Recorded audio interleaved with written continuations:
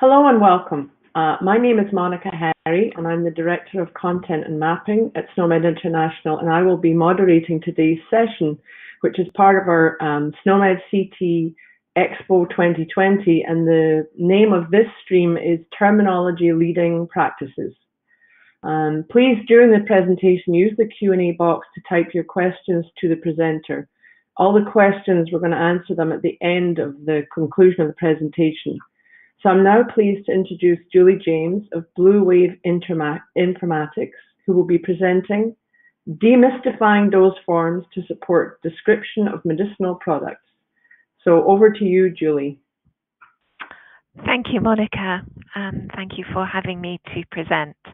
Um, it's a little weird doing it by recording, but I hope you uh, all enjoy it, or at least manage to stay awake through most of it. Um, what I'd like to do in this presentation, um, demystifying dose forms, um, we have quite a uh, complex dose form model in SNOMED CT, which is fundamental to how we describe medicinal products. Um, and I'd like to look at that and compare it to other models out there, particularly the EDQM model, and then talk a little bit about um, some of the areas that you need to consider uh, when you're using this model and the dose forms that it describes in, in the various um, applications, and particularly when mapping to uh, national extension medicinal products.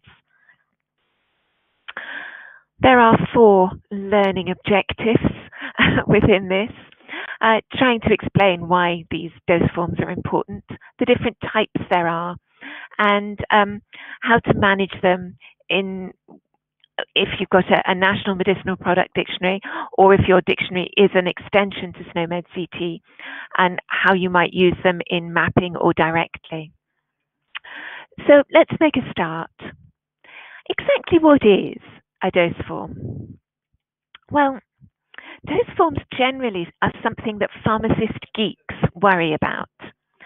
Um, they come from a core part of pharmaceutical science called pharmaceutics, which is the science of formulation, or if you like, the design of dose forms. It's the construction of the thing that holds the therapeutic substance or substances inside it so that we can administer it to a patient uh, safely and effectively. Um, having a pile of white powder on the desk is not great for administration to a patient, um, unless it's cocaine, I suppose.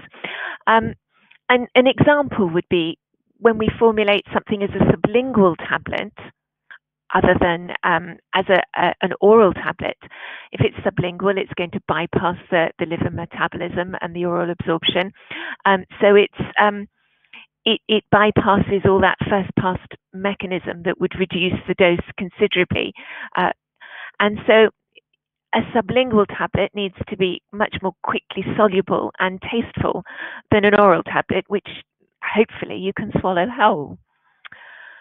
But I have to say that the science of pharmaceutics um, isn't necessarily the most exciting.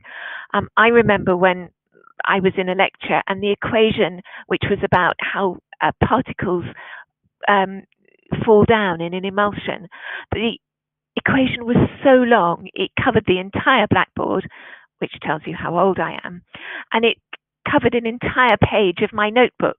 But right at the end, you could see where I completely fell asleep. So it is, I talked about demystifying it, but I'm afraid it is a bit of a geek topic. The other thing that makes it slightly a geek topic is that it's very controlled by pharmaceutical standards. These are the, the authoritative reference standards that, that govern how medicines are produced. Um, and they have been around for a long time, as you can see from, from that elderly textbook. But they are important. They govern and guarantee consistency, safety, and efficacy. So, you know, plain old oral tablet, it will have a standard which says how fast it must dissolve um, at 37 degrees C in pH 1, which is roughly equivalent to stomach acid. It'll also talk about um, how quickly uh, or otherwise it will degrade in a storage container. And that sort of thing is actually tested. Uh, when I was uh, in practice, the inspector used to come round and take 10 tablets off my off the shelf in uh, in our pharmacy and take them away to test that they hadn't degraded more than they ought to have done. So we have various formal definitions of dose forms. There are three that matter to us, particularly in clinical care when we're talking about the pharmaceutical dose form, the physical manifestation of the medicinal product that contains the active substances. And it's the pharmaceutical dose form that we're most concerned about in SNOMED CT. But there are two subtypes of that. There's the administrable dose form and the manufactured dose form. And that's because not all dose forms are directly administrable. A powder for solution for infusion has to be made up to become a solution for infusion before it can actually be given to the patient.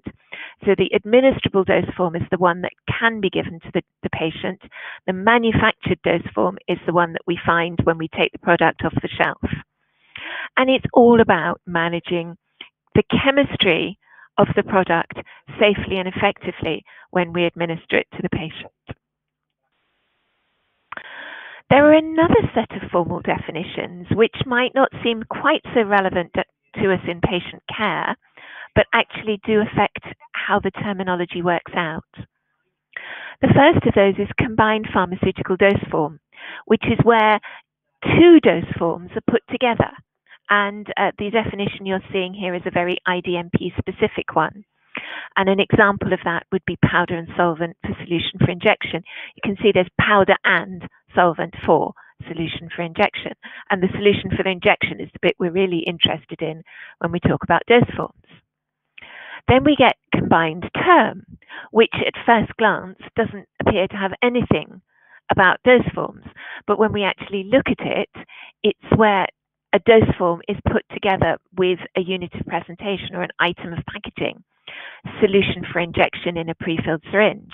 And I'm sure in national extensions, you've got a lot of things like that because clinically, a prescriber may well want to know that something is in a pre-filled syringe because that's going to mean it's um, going to be useful uh, for the patient to administer at home. You don't have to be in a, a clinic or a hospital to administer that. And finally, combination pack. And this is where in order to get a single therapeutic treatment, we actually give two products and therefore two dose forms.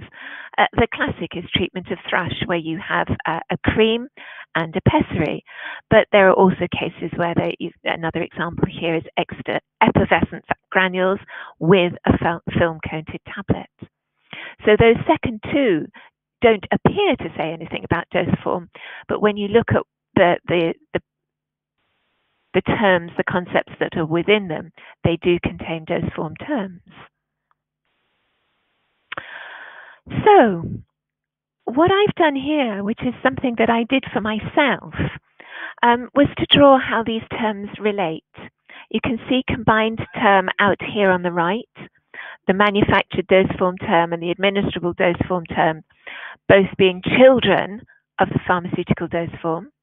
The combined dose form, which may contain either, um, which is likely to contain more than one manufactured dose form, and may well produce uh, an administrable dose form. If you think powder for solution, powder and solvent for solution for injection, will produce the administrable dose form of solution for injection, and then combination pack, which will contain two or more uh, pharmaceutical dose forms. So I, I built this for myself, but I've, I've shared it with a couple of people and they've said it's been hateful, helpful to understand how these different things relate together. So I, I've put it there. You won't find it in any formal documentation. And here's an example of how that works out. I've got that combined term of solution for injection for pre-filled syringe and you can see that its manufactured dose form is solution for injection, and the unit of presentation is prefilled syringe. And then uh, there's going up from the manufactured dose form, there's the different attributes in the pharmaceutical dose form model, which we'll talk a little bit more about in a minute. And what we need when we're defining a clinical drug concept, which is the lowest level in the international drug model, um, is the pharmaceutical dose form. So if you've got a combined term, you might need to decompose it to get the pharmaceutical dose form if you're going to try and do some auto magic mapping to clinical drug. So why are these blessed dose forms so important? Um, why do we need to understand a bit about this geeky formulation science to be able to use them well? It's, as I said when I define them, it's the thing that contains the pharmaceutical substance or substances. And therefore, a dose form is one of the definitional attributes of the clinical drug in the SNOMED model. It's also, if we're thinking um, more widely, one of the definitional attributes of the manufactured item in IDMP. So, knowing that they're one of the definitional attributes, we know that we might be able to use them in all sorts of ways when mapping. But also, if any of you were at the um, expo last year when I, um, in, in conjunction with the Irish Pharmaceutical Union, did some slides about actual mapping of clinical drugs to SNOMED core, you'll know that dose forms was one of the major areas of mismatch. And as several people who were at that presentation confirmed that for them, that was also an area that was causing them a lot of mismatches, which is, to be honest, why I, I have looked at them more deeply and come up with this presentation and to see whether we can do anything about um, demystifying and making those mismatches less of a problem. We have a dose form model in SNOMED CT. It's in the qualifier hierarchy, and it means that most of our pharmaceutical dose forms are fully modeled concepts.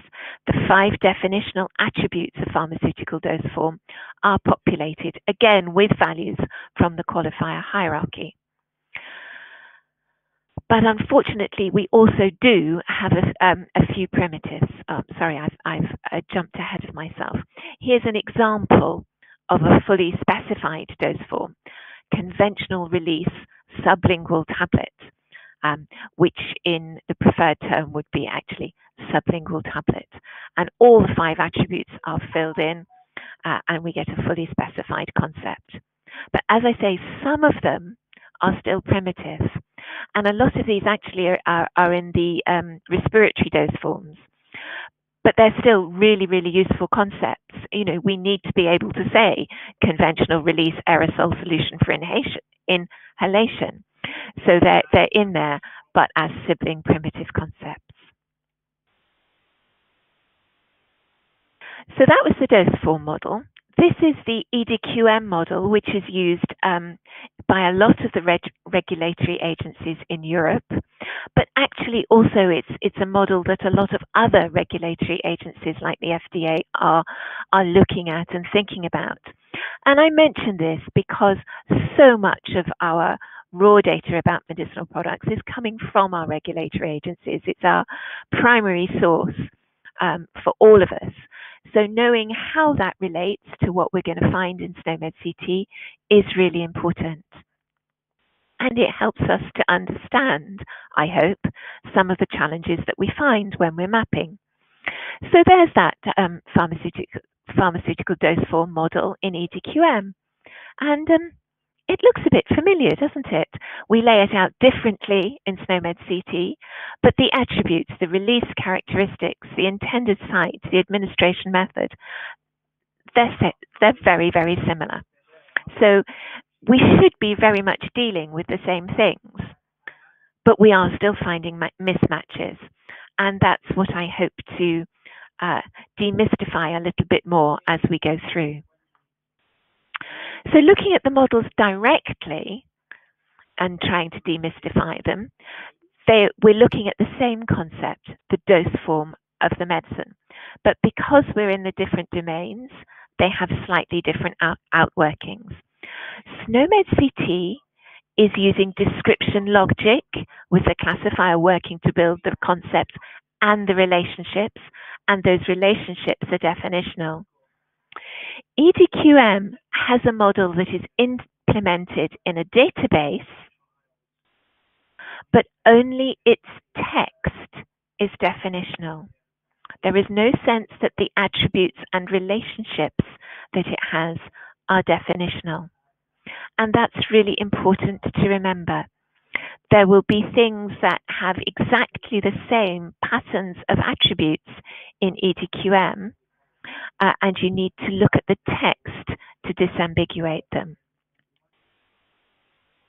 So, as I say, this is absolutely critical for EDQM, and um, this is a screenshot from their from their browser, and it will show you that you know we have the same uh, monograph, and I said right at the beginning, uh, forms are subject to mono pharmaceutical and pharmacopoeial monograph standards.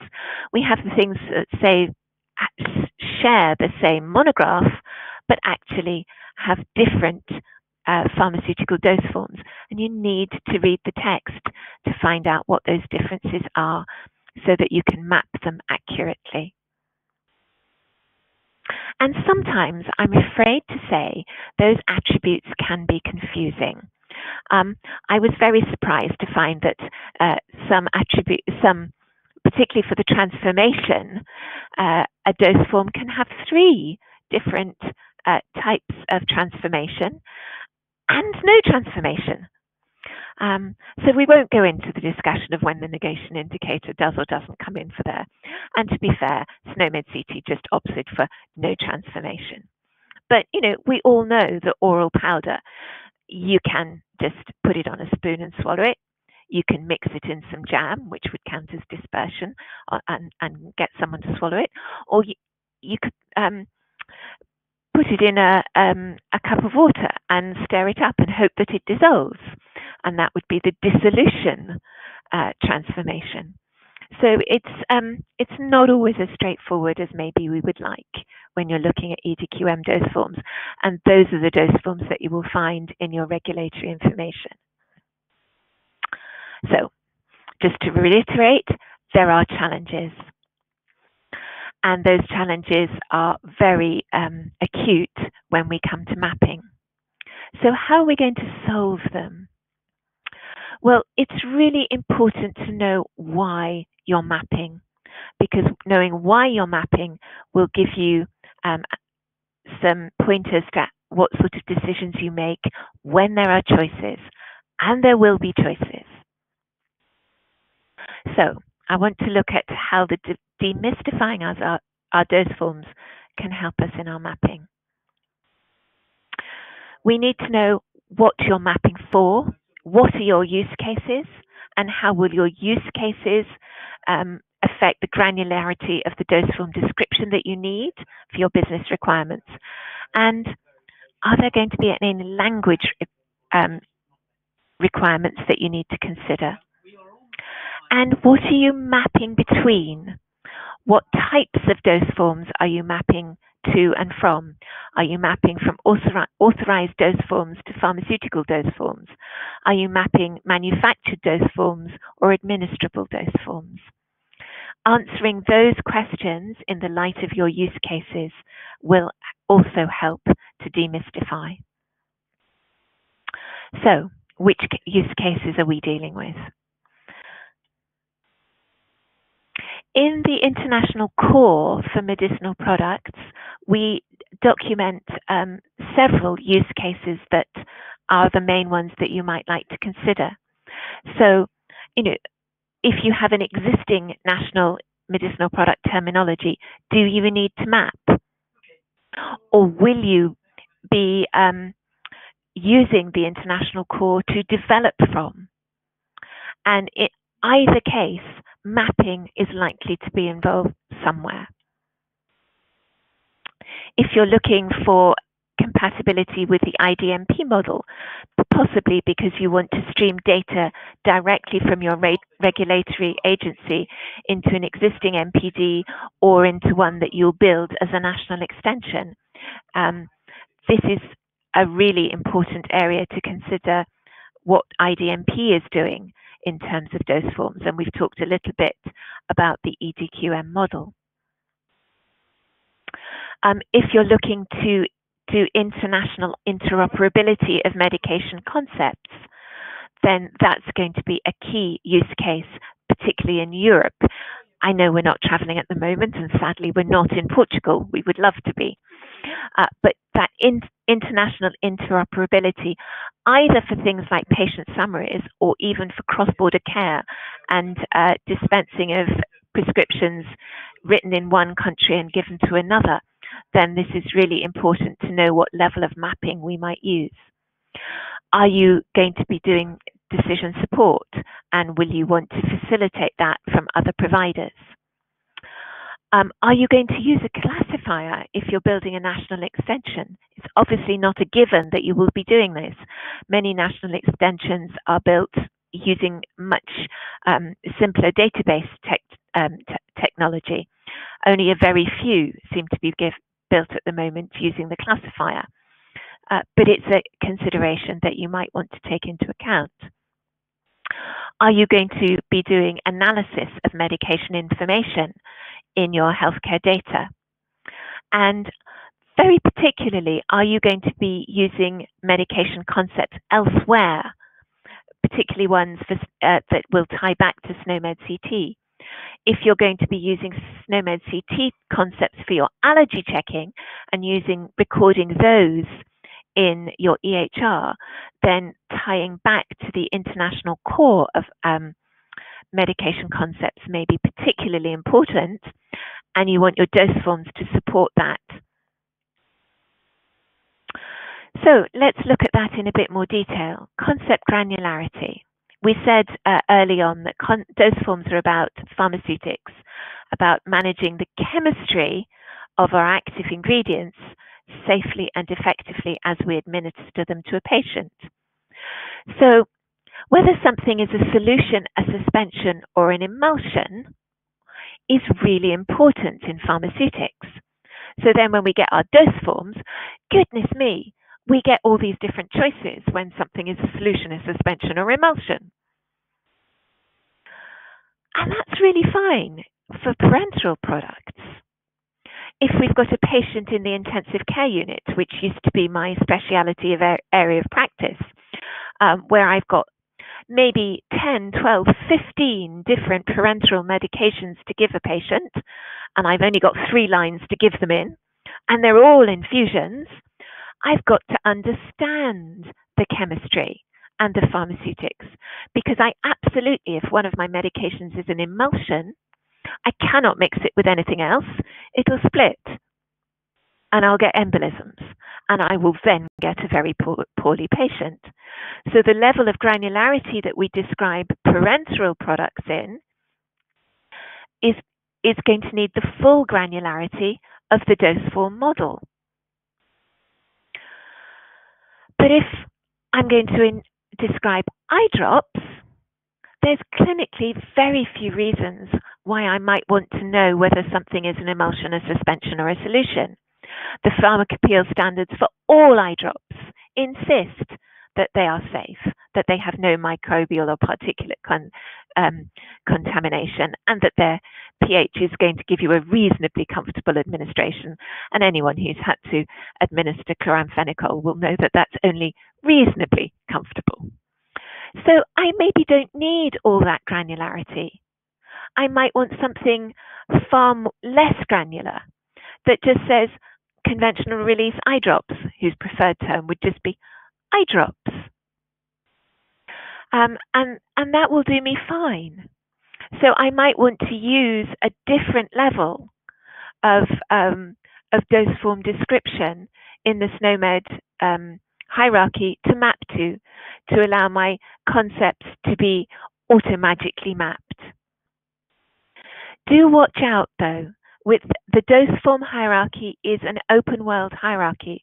So you'll notice that a child of conventional release dose forms is also the eye and ear drop dose forms. So although the group of concepts might be useful, uh, there are some things there that you, you might want to watch out for explicitly if you've got products that are that have their dose form described as um, ear drops, you'll want to manage that map slightly differently. Um, just a note there that EDQM has patient-friendly terms, and uh, although you can't get those out of the database automagically, they are there, and their links might be useful to to help with that sort of that sort of automagic mapping.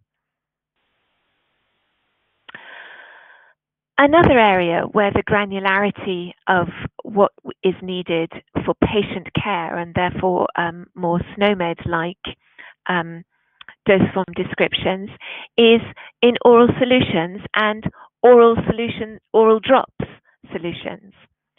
And knowing when you've got those terms in the uh, dose forms that you're mapping from can be very useful to know whether you want to map them to a group grouper concept as just oral solution or whether you want to keep the very granular oral drops solution and understanding why those different dose form terms exist can be very useful.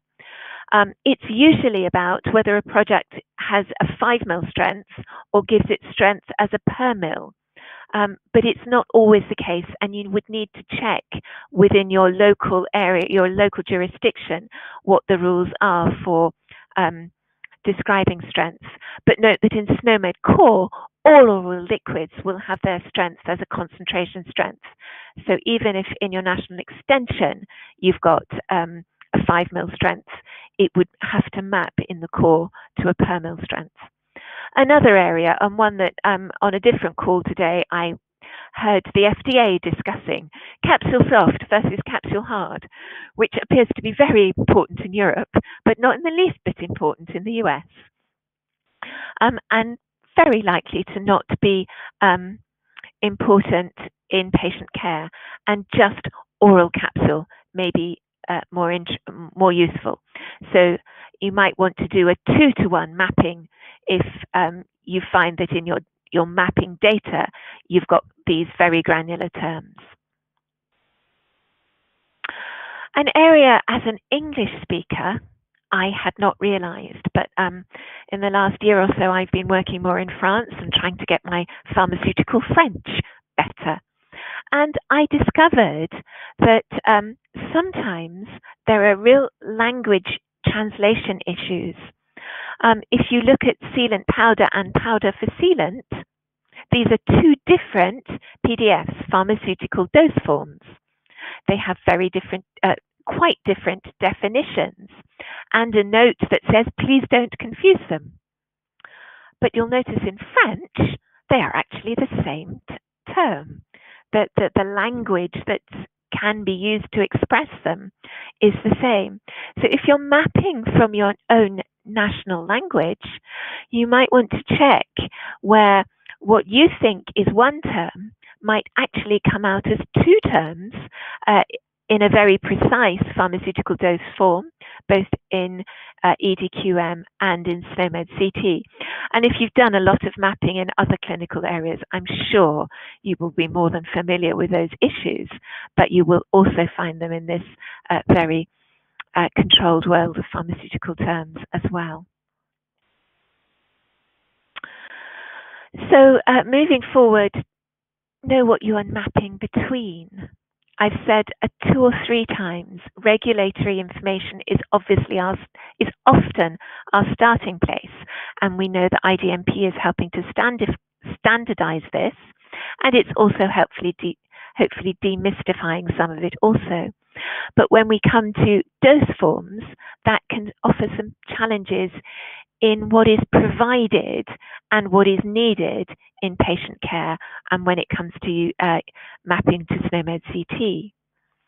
We have authorized dose forms versus pharmaceutical dose forms and manufactured dose forms versus, administrable dose forms. We, we talked a little bit about the manufactured dose form and authorized dose form earlier. But um, this was this authorized dose form was something that, um, even though I've been working with dose forms for 15 years, uh, I only tripped up really quite recently in recent years. Um, even in our national extensions and our national MPDs, our main source of information is uh, a summary of product characteristics, or in the dose uh, in North America, the product label. And um, you will see in that something that is the authorized dose form. Um, it's often labeled as the pharmaceutical form or and it may not be labeled as the pharmaceutical dose form, but it's actually the authorized dose form. And knowing how this relates to what we want as the attribute that supports the clinical drug, the pharmaceutical dose form, um, if we want to do some um, auto magic extraction, uh, can be very helpful. Um, going back to that diagram that I drew, drew for myself, um, the authorized dose form, the thing that is put into the uh, product label or the SMPC, can draw its value set from four different places, not just pharmaceutical dose form.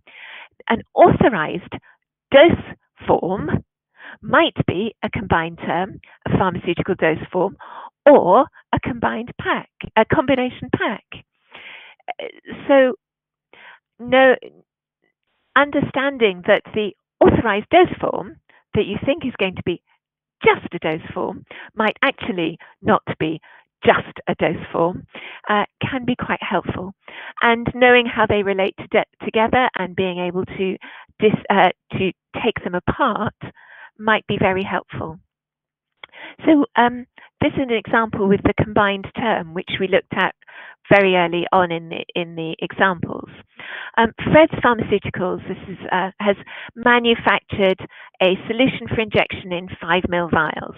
Very simply, our clinical drug will be exotocillin 5 milligram per 1 ml solution for injection. A very simple dose form, solution for injection. And uh, with any luck, that's exactly what we would get in the product label or the SMPC for that product. However, a couple of years later, Fred's also decided to market a solution for injection in a pre-filled syringe. We think, hold on a minute, that's still a solution for injection. The pharmaceutical dose form is exactly the same. But in the regulatory world, for all sorts of reasons, that if you uh, look up the, all the text of that, which sadly I have, those dose forms are different. And the actual dose form for this second product that Fred's going to license will be the combined term uh, solution for injection in free in pre-filled syringe. So if you, it might help to do the deconstruction before you map because it's still going to map to the SNOMED CT exotocillin 5 milligram per 1 mil solution for injection. That clinical drug hasn't changed, but the dose forms that will map to it uh, from your national extension uh, will be different. And if you deconstruct the combined term, it would will also give you uh, the unit of presentation, which you need if you're going to use a, a clinical drug presentation um, subset and the attribute there for the unit of presentation. So doing that deconstruction before you do your mapping uh, might be very helpful. And moving quickly on, because I've just spotted the time, um, the administrable and the manufactured dose forms are also an issue. In SNOMED CT, we primarily use the manufactured dose form, but very occasionally we will use the administrable dose form. And the classic for this is all the um, oral antibiotic liquids, which have to be made up before they're administered to the patient. Um, they all will have a manufactured dose form as conventional release powder for solution for uh, powder for oral solution, but actually we'll we'll put them as CDs as oral solution because we give the strength as the, the per mil strength. And obviously, a powder won't have a per mil strength, where a liquid will. Um, and so we've, in a sense, pre-done the transform from manufactured to administrable dose form so that we can give a strength that is clinically recognizable in SNOMED CT. So that's where we, we use the, the, the per mil strength. Um, and I'm hoping you'll be able to download these slides and look at the detail of them if this is an area that you're going to be mapping from directly. So in summary, I hope this has provided some insight into why dose forms are so important when we're describing medicinal products and the different types that we get. We, when we all start out, we think, oh, dose form, it's one thing. But maybe now you realize that actually there are many different types and understanding how they uh, relate together will help with the mapping. Um, the different models that are out there, the definitional and the descriptive, and the importance of reading text if you find you're using mapping from descriptive dose forms to SNOMED CT, and how to um, know what will come from uh, regulatory information and how you can map it to what will be used nationally for your own patient care use cases. And I trust that if you've managed to follow all of that, and I did say at the beginning this was a little bit geeky, and I do apologize, um, the challenges are overcomable with understanding and mapping policy and good examples. I've thrown in a very few examples here. There are lots and lots more. And if you can get good tooling support for that, that should uh, really be able to help. And as Monica said at the beginning, questions are very, very welcome. And if not now, uh, please do feel free to contact me. I am a sad bunny. I really do enjoy this stuff. Thank you. That was great. Thank you so much, Julie, for your presentation. Can I ask that attendees give us a few moments while we switch from our pre-recorded content so that uh, Julie can then address the questions that you've been submitting. Um, just also a note to say that this presentation will be available on the event platform for the next um, three months. So thank you so much for attending and um, thank you, Julie. That was a wonderful presentation. Lots of detail there. There are a couple of questions. Um, I will read the first one out to you. Um, have you come across any dose forms available in EDQM but not in SNOMED? If you do, how would you map the dose form? How would you decide, well, it's in several parts. How would you decide which dose forms are the same if the dose forms have a different naming in EDQM versus SNOMED? Um, thank you. That's quite a complex question, and I'm very conscious that we have a very short amount of time. Uh, first answer, yes, I have. There are definitely things in EDQM that are not in SNOMED. Um, and my first consideration would be, are they truly pharmaceutical dose forms? Because there are some things I think in EDQM that are not. Um, and that's a separate discussion. When you come to looking at things when it's related not just to the dose form, but to a dose form for a particular medicine like Creon, you do actually sometimes have to go back to the raw data for the medicine, because particularly if it's an um, a classic medicine, um, the dose form name that was given might not have been as granular or, or as detailed as we have now. Um, and there's always going to be the odd 5% that you have to work at very directly like that. Great, thanks, Julie. Um, I'll move on just because I won't answer. There's bits more to that question. Maybe an email could be sent to me and I can send that along to Julie and back and forth. What has your experience been with handling brand names and clinical variations between their source substance and potentially differing clinical uses? Um, that's a very different topic. That's around uh, sub therapeutic substances as opposed to dose forms. Um, extensive. Uh, what is my experience? It's quite extensive, and um, that whole topic about um, what is the pharmacology, what is the therapeutics, and what is the licensed indication for medication would be the subject of a whole nother presentation, I'm afraid. Okay.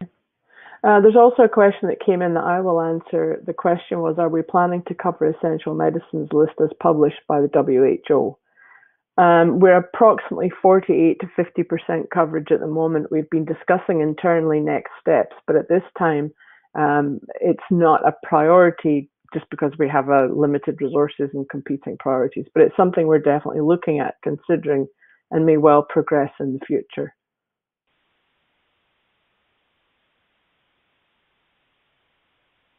Still a few minutes if you have any other questions. And if not, thanks to everybody who attended and feel free to reach out if you do still have questions. And thanks so much, Julie. That was an excellent, very uh, detailed presentation. It was really helpful. Thank you.